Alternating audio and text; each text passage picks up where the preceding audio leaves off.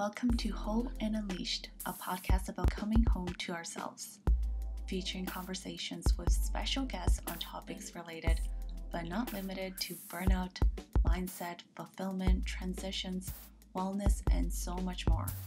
I am your host, Jessica Lock, a Strala yoga guide and holistic wellness coach. And this podcast is not about telling you what to do. I believe we all have the answers we need within. This podcast is here to inspire you, help you find clarity, and maybe give you an extra nudge towards living wholeheartedly.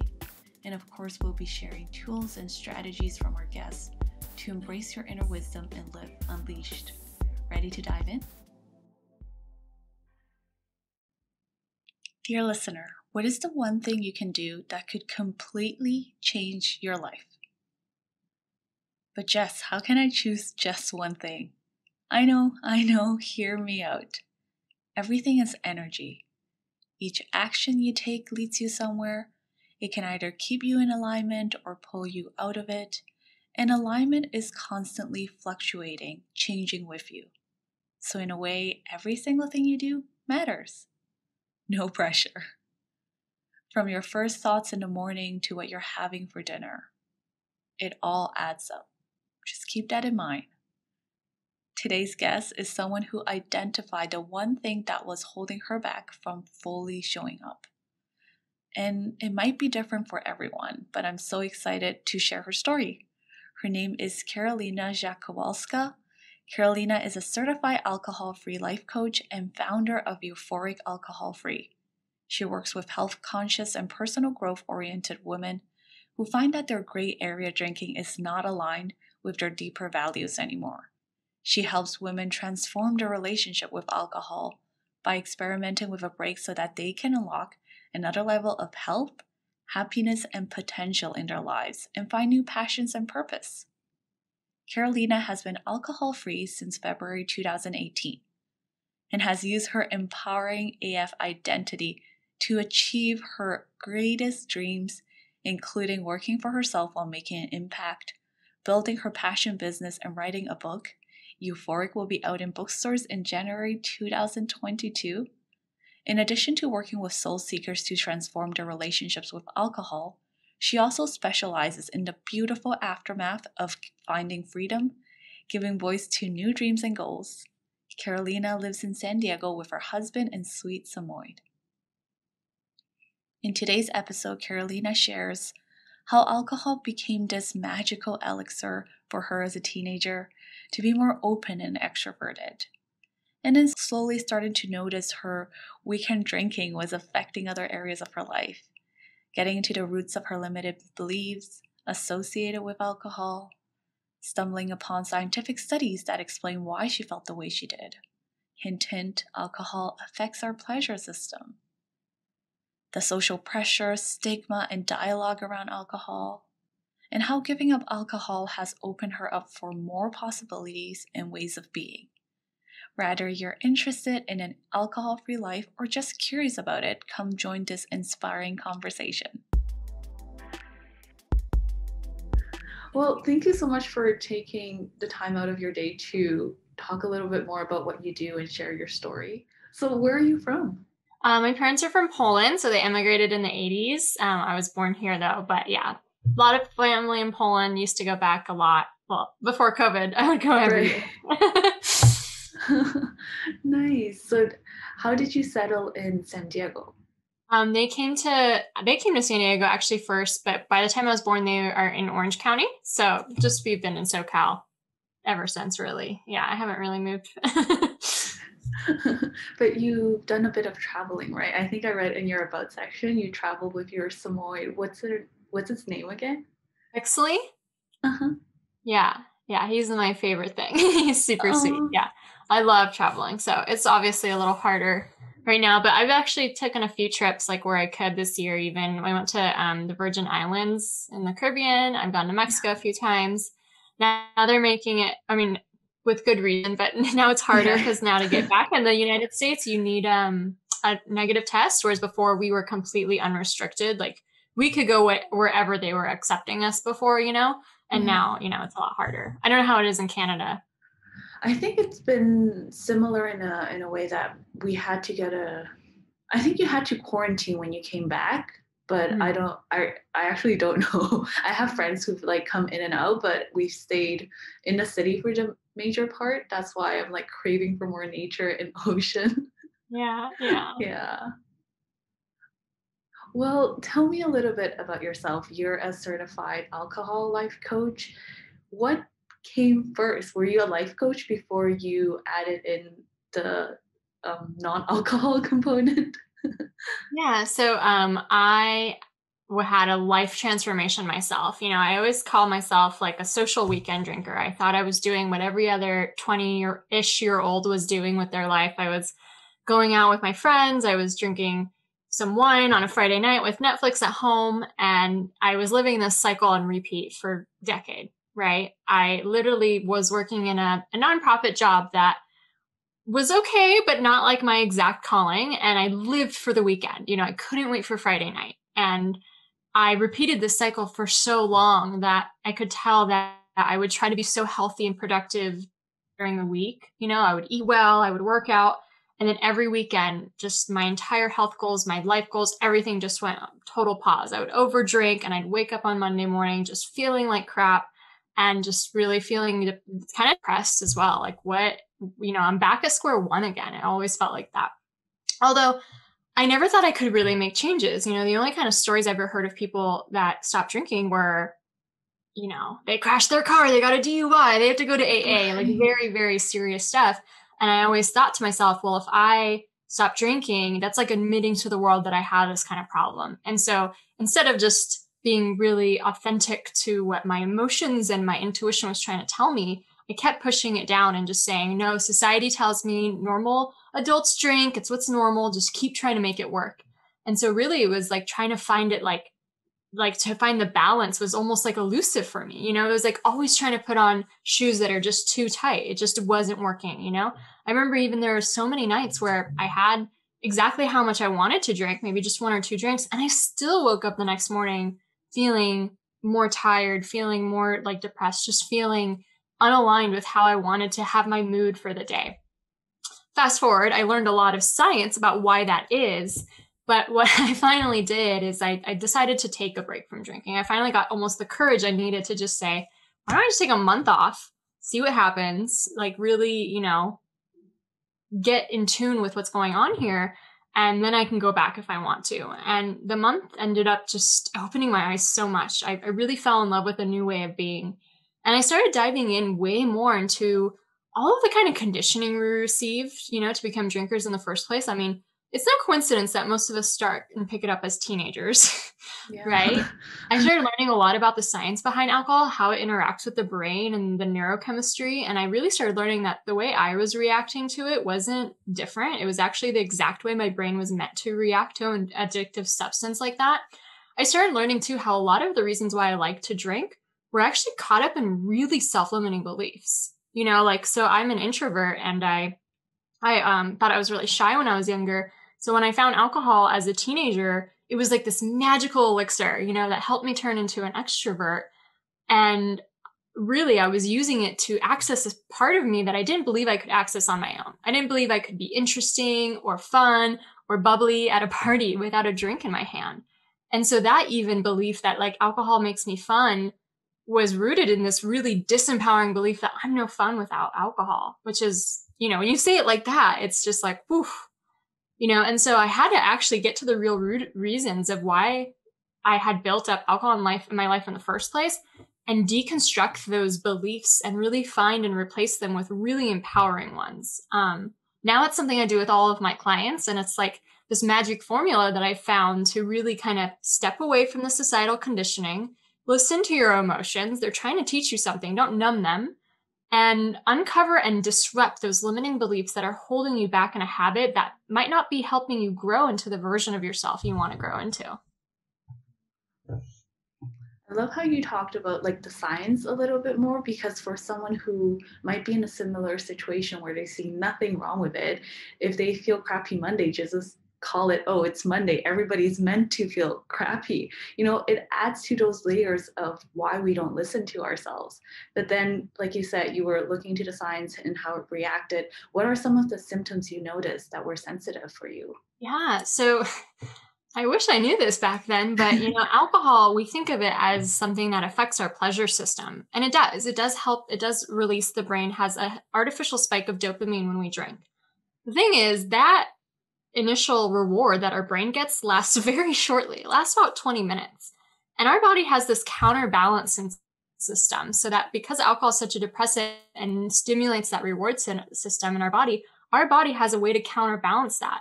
And what it actually does is our body releases stress hormones like cortisol and adrenaline in our body, as well as another neurochemical called dynorphin, which is actually something that makes you feel really depressed. It's like the mm. opposite of endorphins.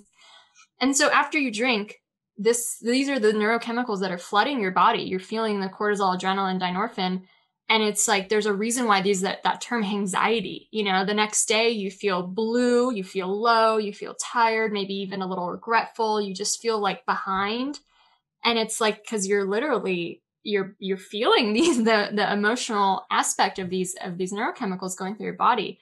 And if you drink every weekend, you know, not to like put any judgment on that, but it's just eye opening to realize it takes about a week for these chemicals to completely like rebalance and detoxify from your body. So if you drink every weekend, like I was, I had no idea what my natural state even felt like, you know? And so I allowed myself, you know, by taking my break, I allowed my body to really kind of recalibrate to its natural levels. And what I found was I became euphoric. And that's why I call my company and my coaching euphoric is because when those chemicals rebalance, like drinking also lowers your natural levels of dopamine over time, your natural levels of serotonin, and your natural levels of GABA, meaning that you could feel apathetic all the time. And that's really just the effect of alcohol. And when you remove it, those good neurochemicals go up and the bad ones go down, and you can just feel a lot, lot happier. Plus, because you're not numbing your emotions or drinking over them, even just slight ones like, oh, I feel uncomfortable or, you know, I'm a little stressed out, they're actually trying to teach you all the time what you need in your life. They're trying to teach you, you know, how you need to heal yourself, how you need to take care of yourself, what boundaries you might need, or what shifts you need in your life. So back to my story, you know, I felt like I was drinking and living for the weekend every week. Well, obviously I was unfulfilled in what I was doing with my life, right? And when I finally saw that, I made changes right away. You know, I started getting trained to become a coach. I knew I always wanted to work for myself. I launched my own business. I left my day job. I did mm. all these things that finally helped me step into that kind of dream life. I, I wouldn't have known before. You know, it was just something that kept getting shoved down. And, you know, you can see that in so many unhealthy coping mechanisms. We feel unfulfilled and then we do something to almost ignore the fact that we feel unfulfilled, whether it's social media, or video games or eating too much, you know, all these kinds of things can kind of, when you're really ready to get introspective about it, can kind of point to uh, underlying kind of root cause. right. It's it's so interesting because you mentioned, you know, feeling guilt and shame and it's part of you know the science behind it but i also know a lot of people attached to shame and they feel guilty as if they did it themselves but like honestly, with all the conditioning that we have, even drinking, it's such a normal thing that how do you learn to disassociate from that guilt and shame and then to take, you know, I'm going to do something different? That must have been such a courageous call and scary as well. Yeah, yeah, it was back then. And I mean, now I feel grateful because there's just so much more conversation around this, you know, like just take a break, just experiment, just try it. Like there's nothing, it doesn't say anything about you, right? It just says that you want to live life like aligned with your deeper values, you know? And if health is one of them or living holistically spiritually is one of your values, then nothing wrong with taking a break. But I think that healing of that, like, parts of yourself you don't like or the shame of what you've done before is so important. And it's actually a critical component of my programs and my coaching is to really come to first learn all about these scientific, societal, um, you know, the neuroassociative associations we have, all of that stuff to learn that there's nothing wrong with you. You're reacting exactly as you should to alcohol. However, you know, like just because it's not wrong, there's nothing wrong with you, it doesn't mean your comfort zone like is serving you, right? Like it's just a comfort zone essentially. And so once they learn that, you know, you can really get to a point of accepting yourself, accepting your story, accepting what's happened, accepting the way the patterns has and habits have built up in your life. Maybe even telling people like in a private group or with friends you can confide in and forgiving yourself. And there's just like a wash that comes over you, you know, like there's this this idea that the past is not equal to future. And especially when you start showing up and doing something different, you know, by taking a break, you start to build up some pride and confidence in that. You know, it's like, this was my Achilles heel, but now look at me. I'm going 10, 20, 30, 50 days without alcohol. It just starts to snowball your pride and confidence. And that starts to overfill into other areas of your life. You know, because you, if you never imagine not drinking for like 60 days or something and you do it, well, what else have you been telling yourself you can't do that you really could? right. It's almost as if you step into a version of yourself that you didn't believe that it was possible before. Absolutely. And it it just snowballs from there, you know, and I love to say that it's really not about the fermented beverage at the end of the day. It's about clearing the space. You know, like all this mental time and energy is sometimes spent over this drink. Should I, shouldn't I? How much? When, you know, all this stuff. It's clean, clearing the space so that you can invite in like your true passion and purpose in a life. And what's really cool is like almost all of my clients find that. Like they they declutter the the alcohol conditioning they've received and what comes in its place is this stronger connection to their intuition and then they know they discover their dreams again and they start going for them. You know i have clients writing books i have clients that are launching businesses creating courses like quitting their jobs and moving like just all this incredible stuff and personally i did all of that too you know what i mean? It's just it's so life affirming Tell me a little bit about your process when you first started deciding, okay, no more alcohol and sharing it with the people around you. How was how did everything come together? Yeah, yeah. Um, I guess it was almost like this just intuitive spark that I got from my intuition. Again, when I created the space, it's like alcohol was always this like chatter in my brain, right? You know, and there was the the guilt, the shame, the should I, the shouldn't I, the rumination, you know, where, when, how, you know. And all of a sudden, there was silence, and I could just hear that voice from my intuition. And she told me, you know, you need to share your story. You need to launch a website. You need to start talking about this. You need to become a coach. You need to launch a business. And I remember how terrified I was. You know, I like, I went public on my Facebook page, you know, back, back a few years ago. And it was so scary because nobody talks about alcohol. right. And to put it in a way that you're not an alcoholic because I think there's also so much labels and stigma attached. Exactly, exactly. And I think that's like why so many of us are so stuck in the first place. You know what I mean? And and the thing that like with labels and and things like that, like we are such multifaceted human beings. You know, our patterns do not define us, especially not like the one these old patterns that we clung to that maybe served us at some point of our lives, but just don't fit who we're growing into be. Mm. Yeah definitely. What are some common blocks and major resistance when people come to you?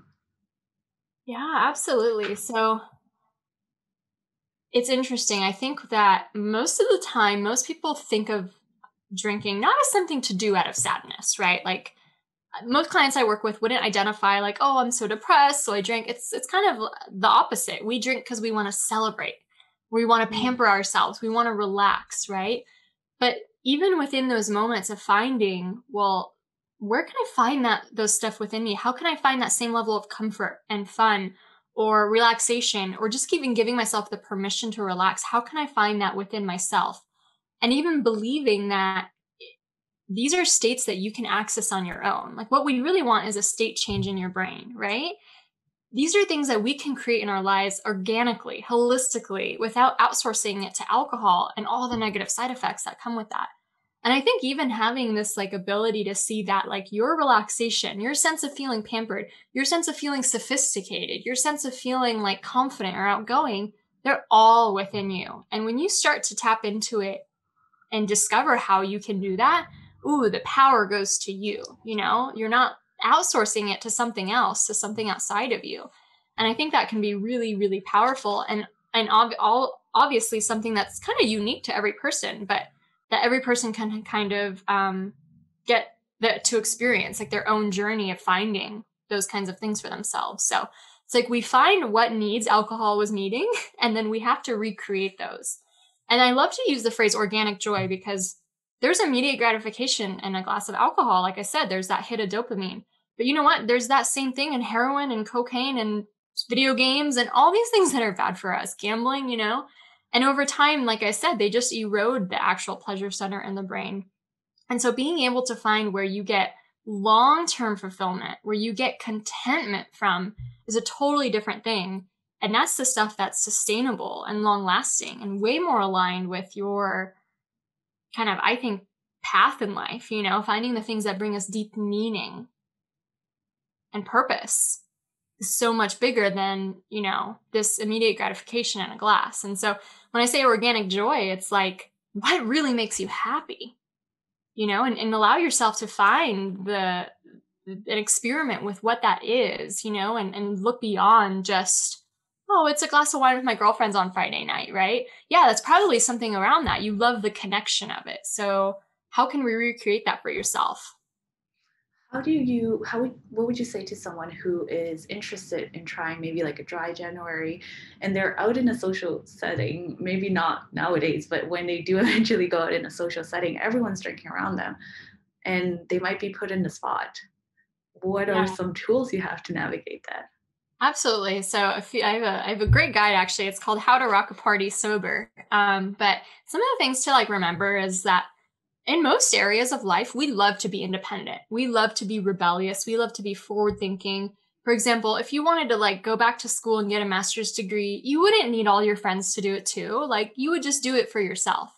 And so starting to think of yourself as the rebel in your friend group, not like the, the person with, oh, poor thing, they can't drink. No, the rebel who's like putting their health first and their own kind of self discovery first starts to give you a kind of different pride. And even like ordering a mocktail and then talking to someone about it. Like, or, you know, there's so many incredible alcohol free drinks on the market these days. You can get like coffee cream stout and non alcoholic wines and all these different spirits. And having those kinds of things and even having conversations about them, like you might pique other people's interest too. There's a study that they showed that over 60% of all drinkers misuse alcohol and overdrink, right? Most people do drink above the health guidelines because the health guidelines are really, really low. And so, like, you're not this like red flag that's like everyone's thinking about you. You actually might be shifting other people's perspective when they see you not drinking. If I went to a party five years ago and saw someone not drinking, I would have been like, huh, what, what, like, what do they have that I don't? Like, they don't, you know, that's giving permission to other people and inviting other conversation. So think of yourself as a rebel, think of yourself as a role model and you know, like just little things, like visualize how incredible you're going to feel the next day. Like you get to go to the party and wake up the next day and run four miles if you want to. I doubt anyone with a drink is going to do that. that is so true. You know, it's funny. I I'm allergic to alcohol, so I can only have a little bit. I'm also grateful for that because I have a very addictive personality. Like I can get addicted to things and coffee. I love coffee and drink a couple cups a day. Chocolate, I have a couple bars. So I know that I need to pace myself with a lot of things that I enjoy. And with alcohol, at least growing up, I guess being a teenager, there's a lot of peer pressure. But because they could see how red I was, they were like, oh, okay, maybe she doesn't need more. So my cues help me like, okay, stop pressuring me. I'm drinking my juice. I'm happy. But it also allows you to be more present in the moment.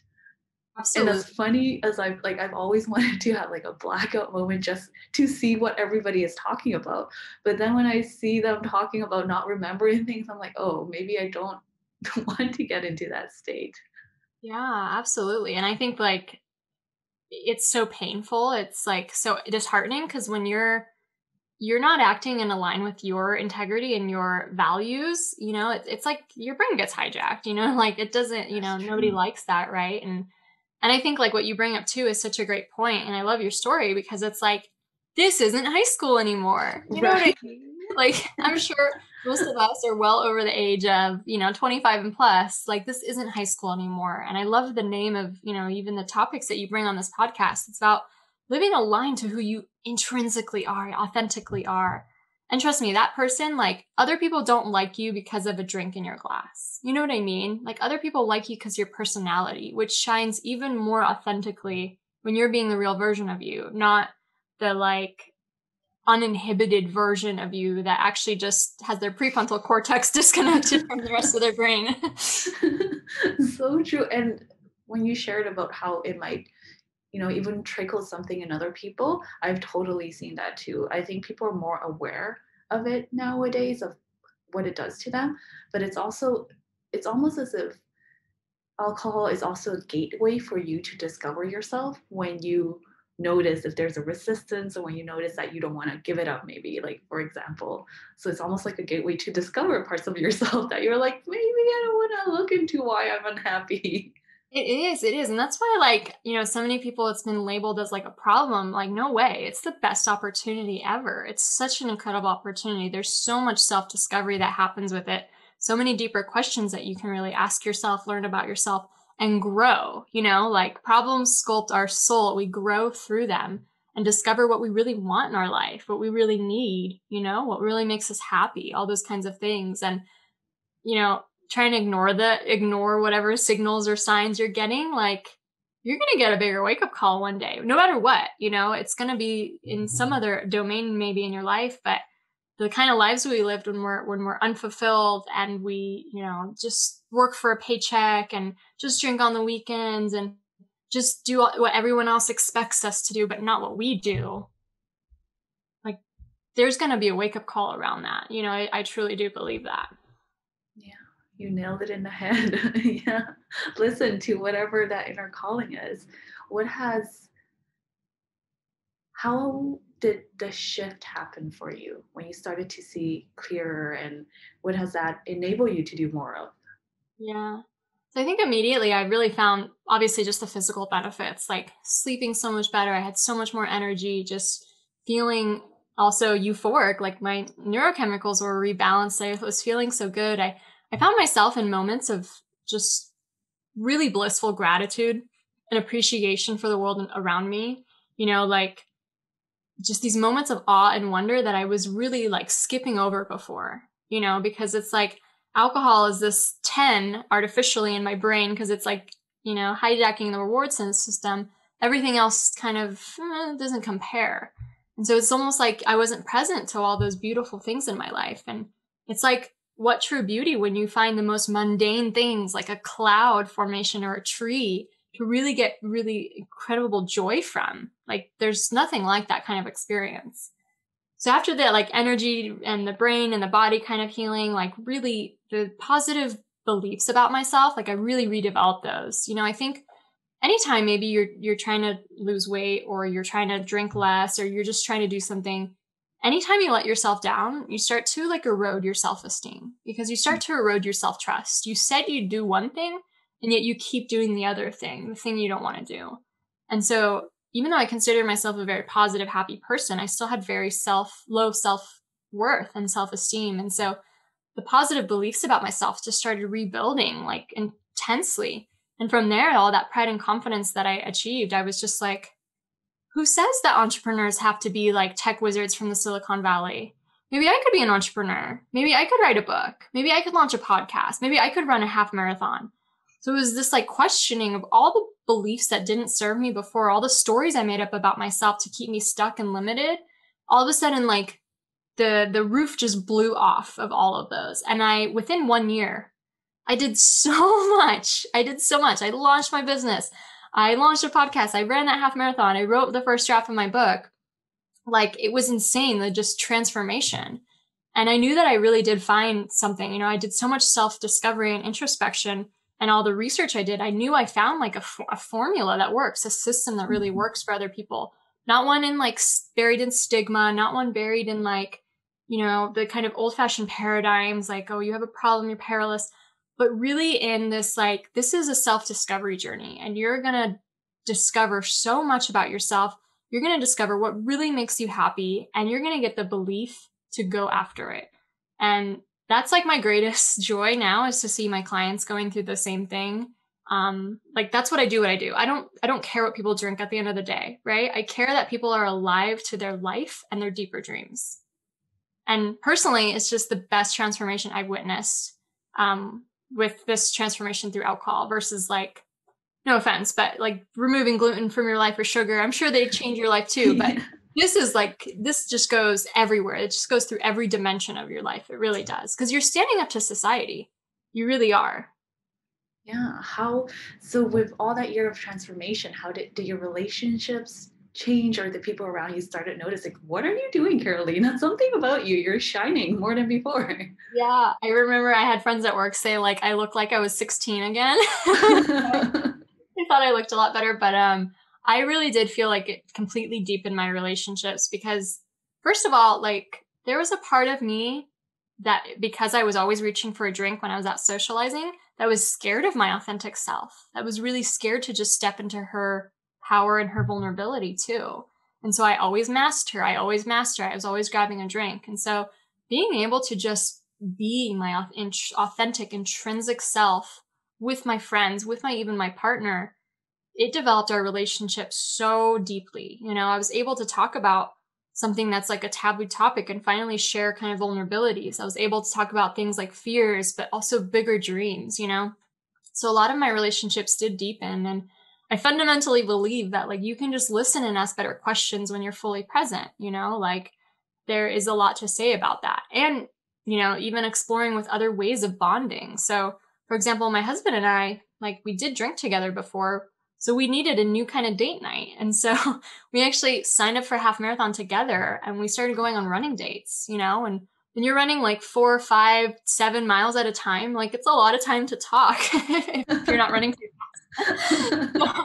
like we had this like new thing to do. We played a lot of board games, you know, and I, I would say my relationships have deepened and and not just the ones I had, but the new friends I've made all over the world, not just with alcohol free women, but just other women who are just into their own personal growth.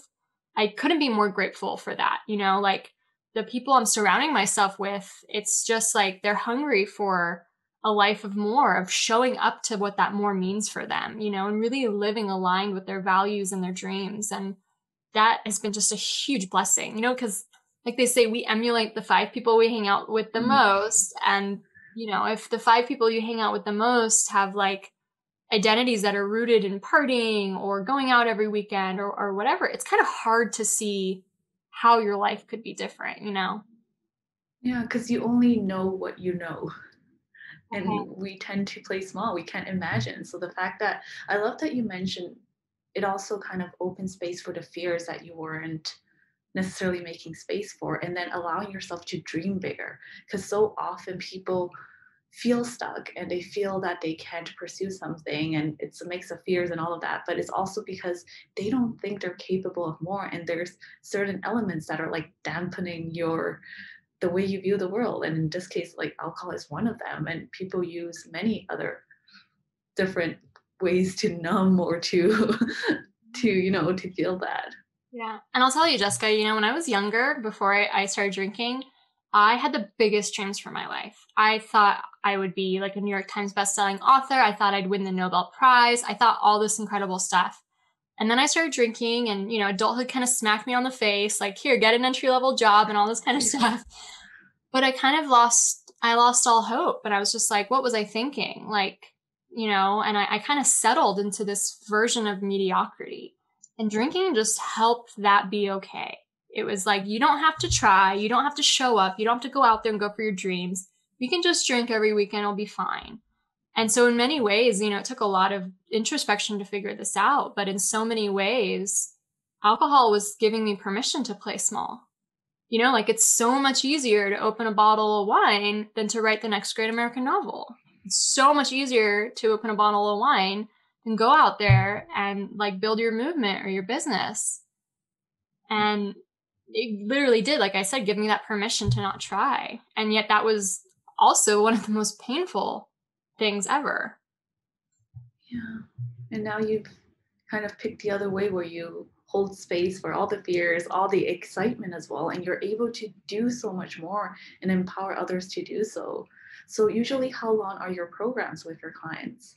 Yeah, so I um I work with either 8 week kind of really in-depth programs or I do 16 weeks of one-on-one coaching, which I just love. Um and so my flagship course is called Become Euphoric and that kind of just walks you through everything we just talked about, you know, like mm-hmm. the body, the mind, the soul, and really like uprooting those beliefs that don't serve you and replacing them with new ones.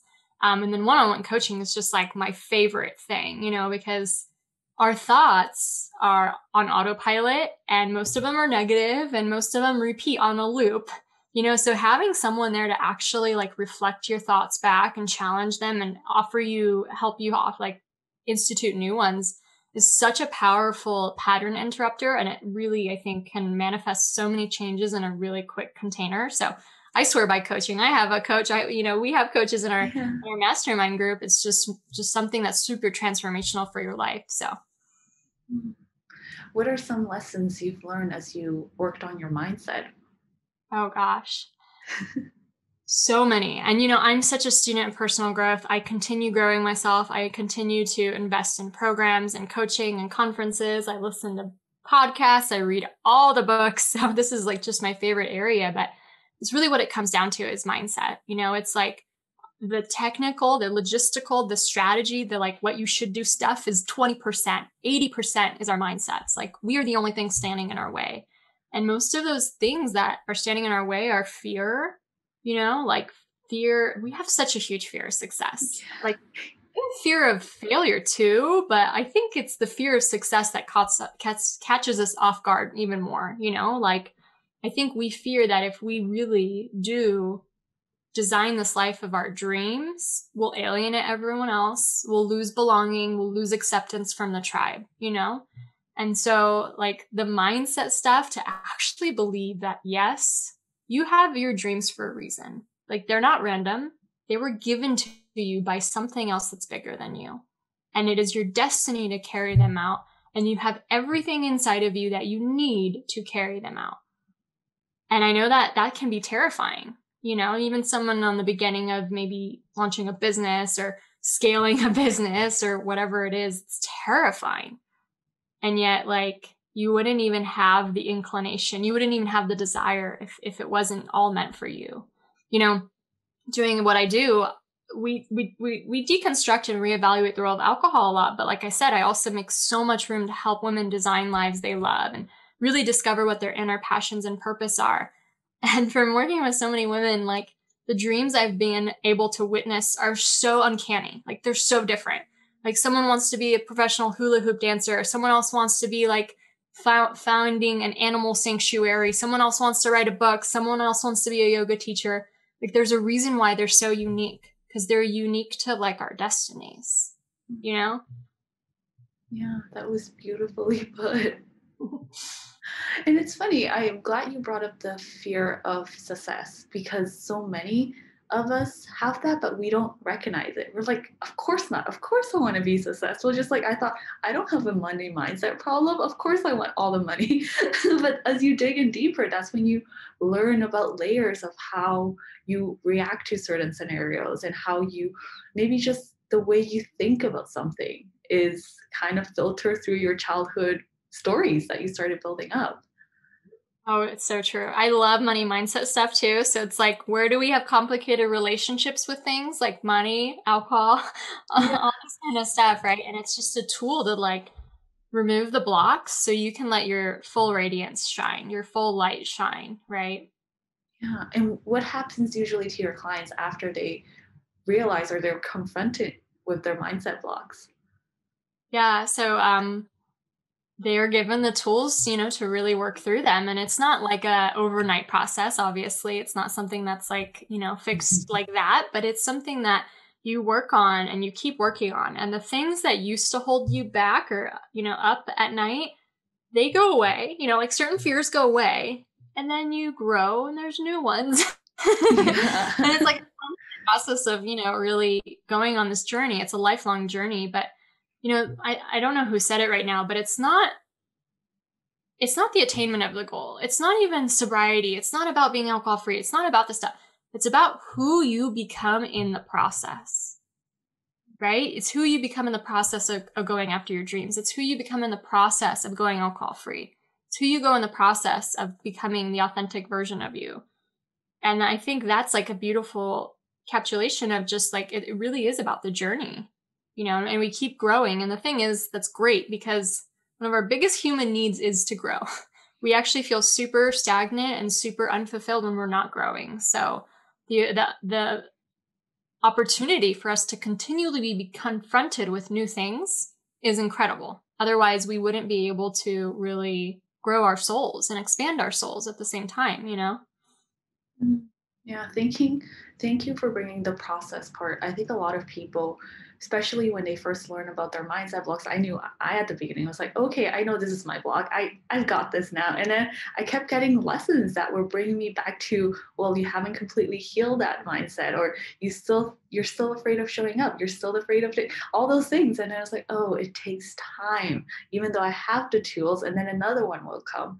But it's also like you said the journey. It's not about like the message that I've been getting more and more as I do this inner work is that life is to be enjoyed like all that healing yeah it's it's bonus it's part of the process but you need to just enjoy it whatever you love eating what you like doing the place you want to live it's to be enjoyed and not through suffering like we always put ourselves in. Yeah and i think like i think what i knew was my problem before is i didn't know what i enjoyed you know like i couldn't i've told you where i want to live how my house looks what do I do every day with my time because I was I was so disconnected I think with that like deeper part of myself. And so anytime we give ourselves the space to just go within, we learn what we want. And sometimes we have to learn what we want by what we don't want. Mm, right? Yes, that is such an important point. Yeah. A lot of people think I know I don't want to do this. And then they're like, but I don't know what else I want. And I see frustration. And what are some areas? How do you help people navigate when all they know is that I don't want to do this anymore. Yeah. You know, I mean, I mean, I help a lot of women who might sometimes feel like regretful or they wasted a lot of time mm-hmm. like living in that status quo and just drinking like what they we call normally, but still in a very stuck place. There often is that like regret, oh, I wasted so much time living that way, you know? And it's like, well, like that to learn about what you don't want is a powerful, powerful lesson because now you can create a life based on the opposite of that based on what you do want, you know? And I think it takes it takes time to discover those answers, but we continue doing that by giving us moments of meditation, of silence, of solitude, of of really reflecting, of visualizing, of of just personal growth work. You know, it really does come from that. And just like a really silly example, I used to have like no sense of like style or, or design when it came to my house. So my house had like whatever furniture. My husband and I like didn't agree, so we would just get like something we compromised on. It was like all dark. I don't know. It just and I had no idea how to fix it. I knew I didn't like it, but it just was it was just not one of those people who's like a graphic or not a graphic, but you know, does interior designers. Yeah. and today, like I live in a house that I love. I love the way my house looks. I've designed it in a way that I love. And it's so interesting how like I could have carried that story for so long. Like oh, I'm just not an interior designer. I don't know how that stuff works, you know? Whereas it took a while to kind of peel back the layers. And I think for me, giving up alcohol was like the crucial thing to really figure out what I wanted, you know? Mm-hmm. Thank you for sharing that story because I can definitely relate to holding on to stories that I know don't serve me. Like I have this story that I'm not good with numbers. So every time finances come up, I I just like I don't want to touch it. I don't want to do anything. As long as I can pay my bills, I'm okay. But I'm working on it. I'm working on taking ownership and then getting comfortable. oh, I love that. You know, and like I think that's the most powerful um, motivator of human behavior is our identity. You know, if we think we're an athlete, we'll work out every day. If we identify as, you know, someone who can't do something, we'll be like, oh, I'm a procrastinator. I'm lazy. Okay, we'll do that too, you know?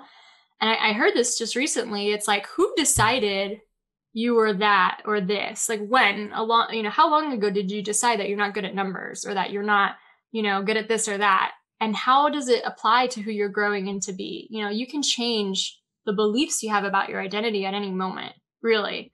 You know what I mean? And it's a really powerful reframe.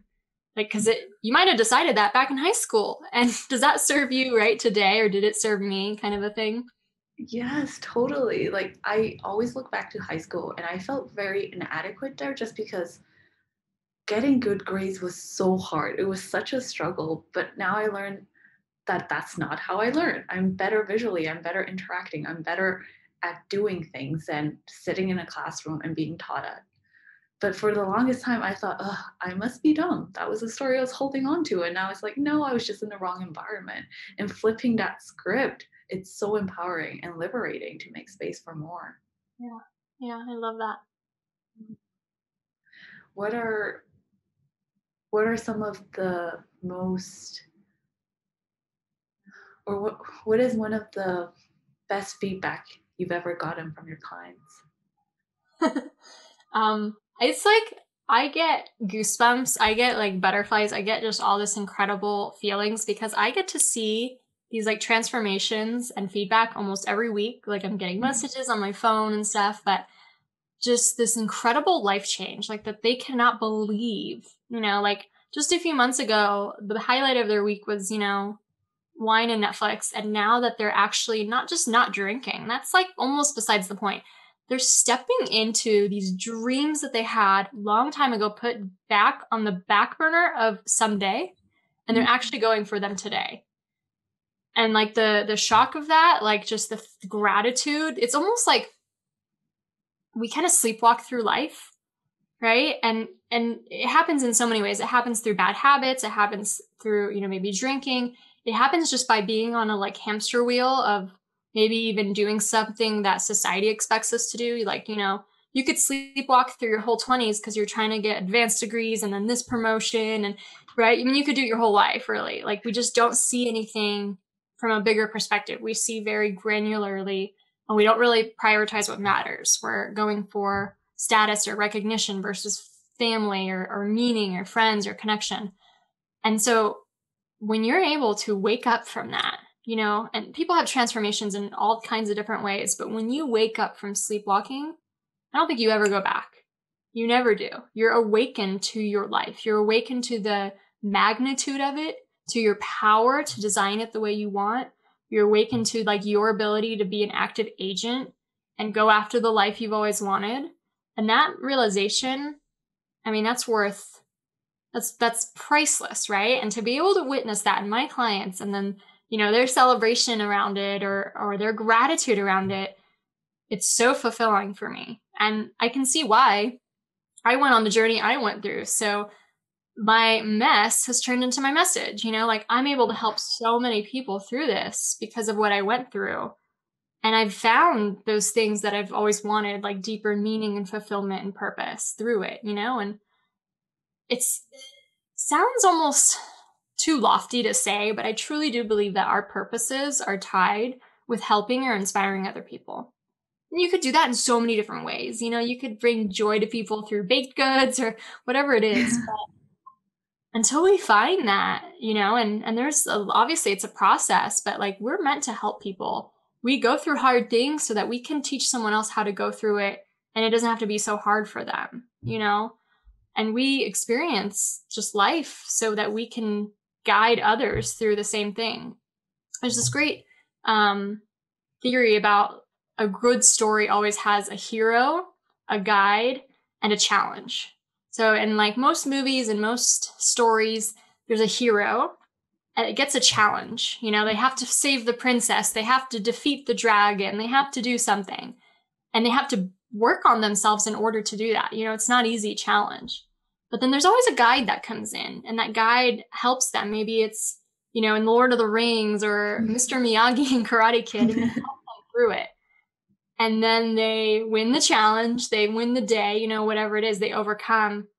And ultimately, that hero turns into a guide for someone mm-hmm. else, mm. right? And so our lives go through this trajectory. You know, we're all the heroes of our own story. But where we're going to find the most meaning and depth is when we transform into those guides and then help the person behind us. Mm, you gave me chills. That was beautiful, Karolina.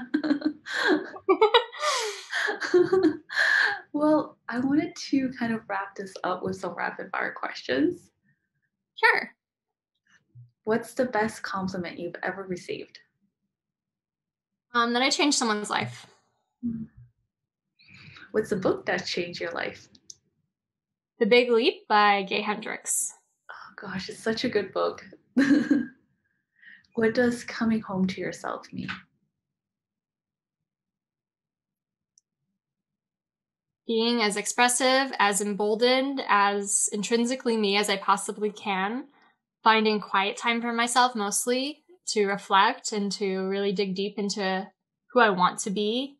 Um, and moments in nature. I think every single time I've been outside at night and just looked up at the stars, like something bigger than me connects me to like the magnitude of life. And sometimes it's just like we wake we sleepwalk a little bit every day, right? We just have these moments that wake us up like that. It can be really beautiful. Something that I need to be reminded of because like you said, we sleepwalk, I go on autopilot and then stress gets over and then I realize, oh, if I just look at the clouds, I just my shoulders drop, I can relax. So that's a nice reminder. Thank you. what would you like more of? Mm-hmm. Freedom, love, abundance. Any advice or words for your younger self? Mm. There's nothing wrong with you.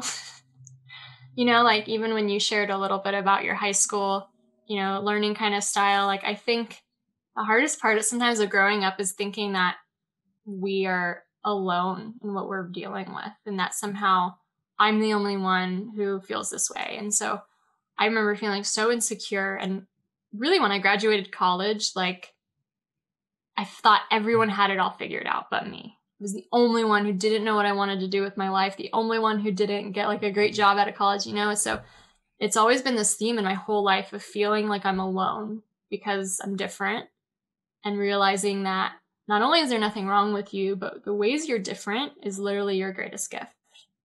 Yeah. That's your superpower. Where can people find you? Yeah, my website is uh, www.euphoricaf.com. Um, you'll find uh, information about me. I have a free five day course if you want to get started. I have all these uh, mocktail recipes up and podcasts. And then you can also find me on Instagram at euphoric.af. Mm, I wanted to ask you more about your podcast. What is the podcast about? it's called Euphoric, and it's about really finding your best life and freedom, alcohol free. Um, we talk about really stepping into that most expressive, most emboldened version of you, um, con- challenging the conventions of society, but then also like hearing about really awesome different perspectives of other leaders who have grown themselves through different kind of areas. So yeah, it's possible to go to the other side if you want to. um, you also just launched or are launching a program. Yeah, so I do group coaching as well. And so that's one of my favorite things as well to take the one on one format and do it in a group format. I just so many incredible connections you make with the women you're you're with and it's just such a heartening way to you know like learn and to really challenge each other inspire each other so i love that um, and then i just also want to shout out that i have a book coming out as well uh, next january 2022 it's called euphoric as well um, and that's just like like i told you earlier my biggest dream when i was a little girl was to write and publish a book and so i, I, I just can't even believe it and yet the perseverance, you know, it took like just one step in front of the other, baby steps, baby steps, baby steps. I can't believe like that's how it happens. You have to just believe, you have to just keep going for it. Don't get overwhelmed by like the magnitude of a project. Just take one baby step and then the universe will show you the next right one to take. Mm, how is the process for writing the book so far? It's it's incredible, you know, like being able to say you've written a book, it's no easy feat. It's it's it's challenging and it's kind of like oh my gosh, you want to put everything in there, right? Everything you've ever learned. But uh, the manuscript's almost done. So we're moving into the marketing, into the cover design, just crazy stuff. Like, you know, it's, it's really surreal. Congratulations, Karolina. Well deserved. Thank you. and you'll help so many with your story as well that would totally resonate. Well, thank you so much for joining me today. I've learned so much from you and I know our listeners will be super, super inspired by your story. Is there anything else you want to share? Yeah, I think if you're hearing an inner voice telling you something, she's never going to lead you astray, or he. they know deeper. They're the connection to our higher self, their connection to that source. So, you know, when you hear it whispering to you in the morning, Monday mornings, specifically to, just listen to that voice. You'll never regret it. Beautiful. Thank you so much, Karolina. Thank you, Jessica. Thank you so much for listening to the Whole and Unleashed podcast. What was your takeaway from today's conversation? Let me know in the comments or review. I would love to hear from you. Subscribe to get new episodes each week and visit wholeandunleashed.com slash podcast for more information.